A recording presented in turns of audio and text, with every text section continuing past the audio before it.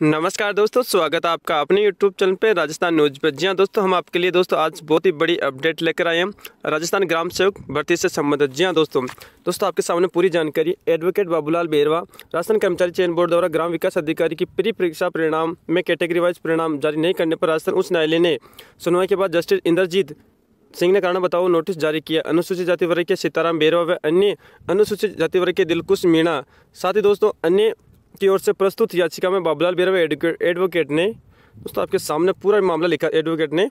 न्यायालय को बताया कि विज्ञापन के क्रम तेरह, नियम दो के अनुसार मुख्य परीक्षा के लिए श्रेणी कुल पदों के लिए पंद्रह गुना अभ्यर्थी के लिए जाने थे, परंतु बोर्ड ने कैटेगरी वाइज रिज़ल्ट जारी नहीं किया। इससे प्रतीत होता है कि बोर्ड आरक्षण के विरुद्ध परिणाम जारी। S C S T OBC, साथ ही दोस्तों, जो महिला वर्ग के अभ्यर्थी है, उनके साथ कुटारघात कर रहा है। इस पर न्यायालय कारण बताओ नोटिस जारी किया। जी हाँ दोस्तों, बिल्कुल सत्य न्यूज़ है, दोस्तों। ये साथ दोस्तों आपके जो आप देख लीजिए, दोस्तों ये दोस्तों, जो पिटीशन लग रखी है राजस्थान न्यायालय के अंदर, दोस्तों, ये पेंडिंग बता रखी थी।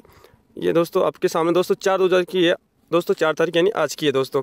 इसमें दोस्तों, कारण बताओ नोटिस जारी हो चुका है दोस्तों, ये आपके नेक्स्ट पेंडिशन फोर्टी सेवन बता रखी है। और ये डिपार्टमेंट के पास रेवेन्यू डिपार्टमेंट के पास जा चुकी है दोस्तों, वहाँ पे पेंडिंग बता रही है दोस्तों। तो चलिए दोस्तों, आपके सामने पूरी